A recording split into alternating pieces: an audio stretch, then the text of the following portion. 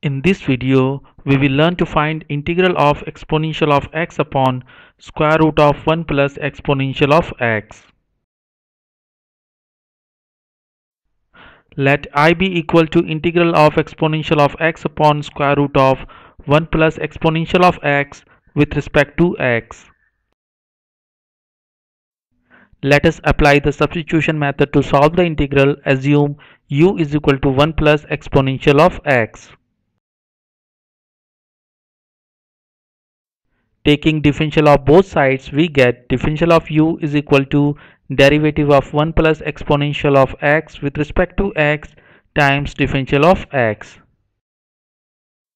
Derivative of 1 with respect to x is equal to 0 and derivative of exponential of x with respect to x is equal to exponential of x by differential of exponential function. So differential of u is equal to exponential of x times differential of x.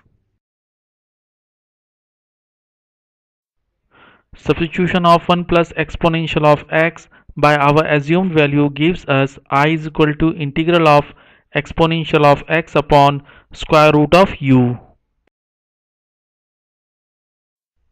Replacing exponential of x times differential of x by its value differential of u gives us i is equal to integral of 1 upon square root of u with respect to u. Just to make you understand, I have replaced square root by exponent half. The reciprocal of integrand makes the exponent of u minus half.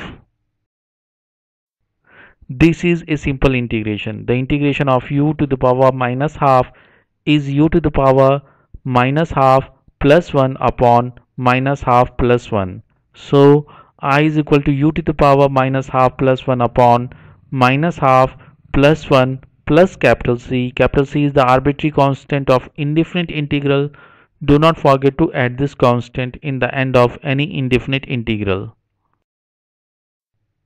as 1 plus minus half is equal to half so the exponent of u is half and the denominator is half further simplification gave us i is equal to 2 times square root of u plus capital C we have solved the integral in terms of u now we needed to take back the expression in terms of x for that i have replaced u by 1 plus exponential of x which we had assumed earlier. So i is equal to 2 times square root of 1 plus exponential of x plus capital C. Thank you for being with me. I hope you like this video. Please click the like button and subscribe button. Do not forget to press the notification bell so that you get the notifications of my new videos. Share the video and do write in the comments. I am eager to listen to your thoughts. If you have any question related to the video or if you think I should make a video on any other topics in which you are interested, please write in the comments. Thank you.